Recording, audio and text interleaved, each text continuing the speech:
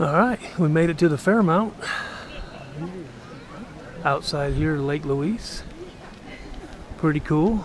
Probably go inside there later. Check it out. Right now, we're gonna check out the lake, walk around the lake, get something to eat.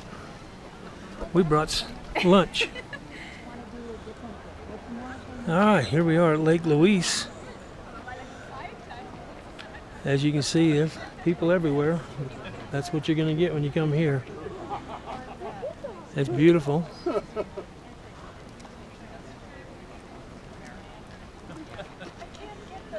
Got your canoe rides over there. I think it's uh, 95 hours for the first half hour, and then for another 10 bucks, I think it you can get it for a full hour.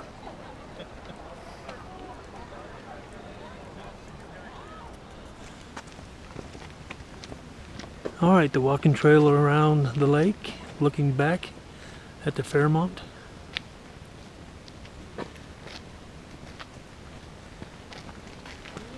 Pretty cool.